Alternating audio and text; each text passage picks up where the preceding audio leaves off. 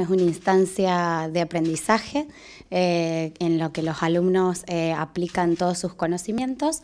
Em, cabe destacar que el Instituto de la Consolata no cuenta con eh, la materia de informática, la tenemos en los niveles de educación tecnológica en los primeros años, pero después por una modalidad en, las orientaciones no la tenemos, pero bueno, los chicos se destacan mucho, entonces trabajamos extraescolar con, la, informática, así que bueno, doble esfuerzo.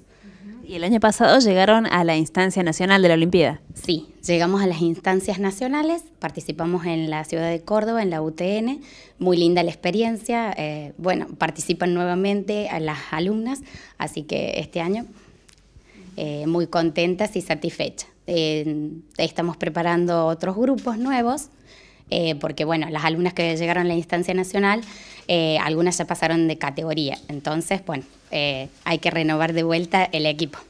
¿Y aproximadamente cuántos estudiantes participan de esta experiencia? Bueno, el año pasado participaron nueve y mm, se prevé para este año más o menos esa misma cantidad. ¿Cómo es la preparación? ¿Qué contenidos se refuerzan? Bueno, trabajamos primero todos los contenidos porque se trabaja procesador de texto, planilla de cálculo y graficador. Eh, y también eh, cabe destacar que estas Olimpiadas no solamente se toca la parte de informática, tecnología, sino que también la parte cultural, eh, lectura, escritura, todas las ramas de las otras materias son importantes para poder lograr un buen examen, este, tanto zonal, provincial y nacional.